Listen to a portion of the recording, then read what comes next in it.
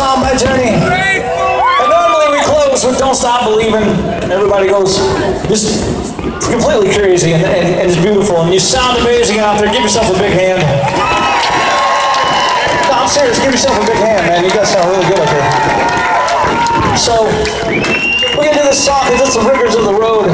And I got to tell you, we didn't just wake up one day and say, hey, I'm going to quit my job and get in a Journey tribute band. We're all pretty much musicians our entire life. This is kind of where we're at.